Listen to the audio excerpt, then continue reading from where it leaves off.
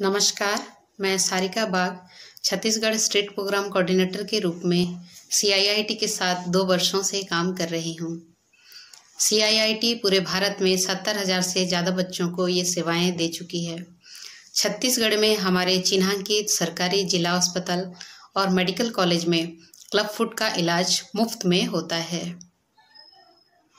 आज भी लोगों के अंदर क्लब फुड को लेके गलत धारणाएँ, अंधविश्वास हैं।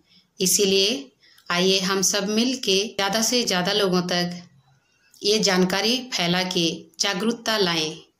भारत को क्लब फुट मुक्त भारत बनाएँ, क्लब फुट को एक इतिहास बनाएँ। टेढ़े मेढ़े पैर से पैदा हुए बच्चों के लिए ये इलाज संभव और सरल है। ये कोई बीमारी नहीं है।